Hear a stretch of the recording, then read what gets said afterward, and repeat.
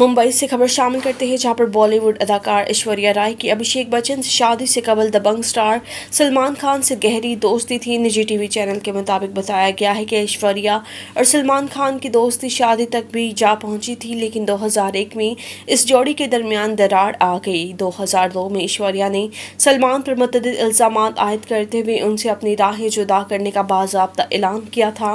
लेकिन क्या आप जानते हैं, इन ऐलान से कबल ऐश्वर्या और सलमान की खुफिया निकाह हती कि ऐश्वर्या की मजहबी तब्दीली की खबरें भी सामने आ चुकी हैं।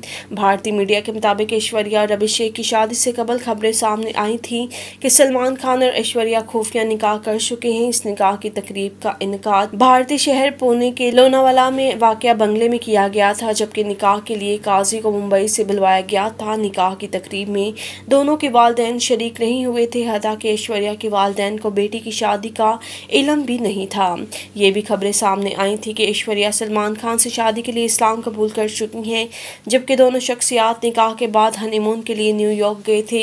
इन खबरों ने ऐश्वर्या के करियर को मुतासर किया था, जिसके बाद उनको कास्ट करने वाले प्रोड्यूसर्स भी शशपंच का शिकार हो गए थे। बाद एक शो के दौरान जब ऐश्वर्या से सलमान खान से निकाह के हवाले से पूछा गया था, उन्होंने सब्र तहमल से सवाल सुनने के बाद जवाब दिया था।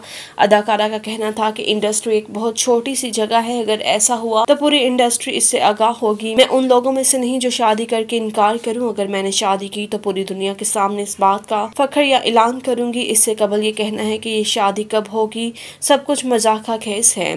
वाजिया रहे कि ऐश्वर्या राय और अभिषेक बच्चन 2007 में शादी के बंधन में बंधे थे। तहम अब ऐश्वर्या कुछ अरसे से तलाक की अफवाहों का निशाना बनी हुई है।